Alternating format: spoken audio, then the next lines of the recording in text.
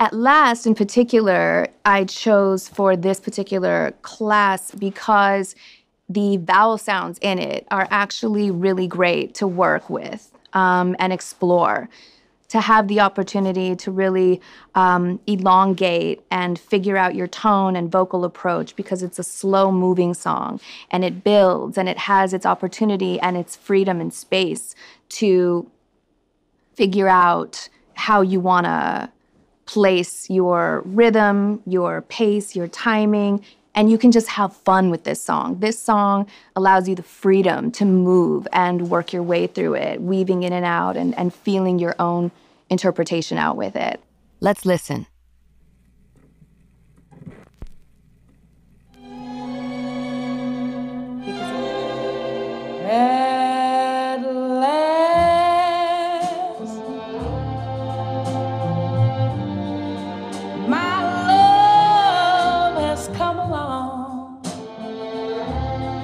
Okay, so just that alone, listening to At Last, My Love Has Come Along, right? So that's something that's, it's so powerful to even feel that statement. So just to feel rejoiceful and empowered and alive. The way it's structured, too, it has those long slides that.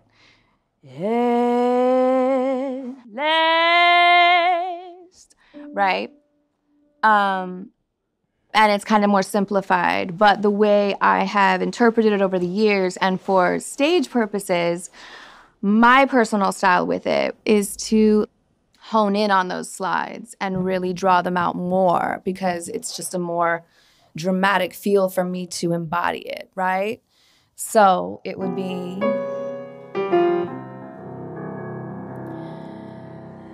and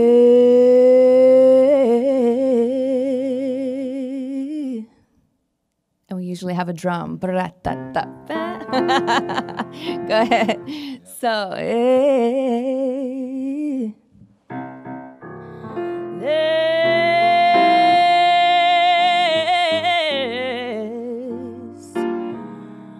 my love has come along. My lonely days are over.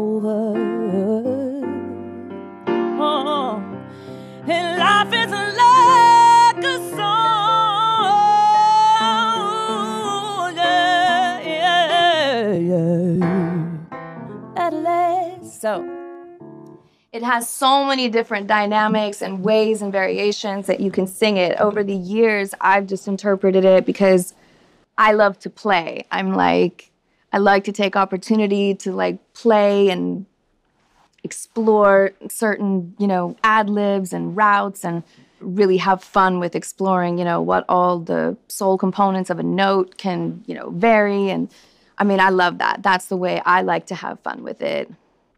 But there's also, if you don't want to even belt it, right? The song itself is great. And you can interpret that in a soft way, in a gentle way. I don't know. You want to play what that would be like? Do like a really like staccato, like as if we were doing like a with an acoustic guitar. Just get right into it, yeah. And last, uh, my last is come along.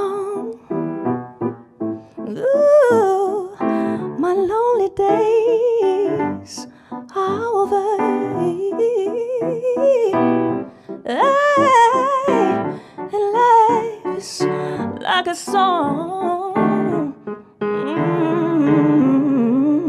Mm-hmm. When she sings, At last the skies above are blue, my heart was wrapped up in clover. So, as far as timing is concerned and pacing, um, there's so many ways to interpret my heart was wrapped up in clover, but she has a timing with it where she says, My heart.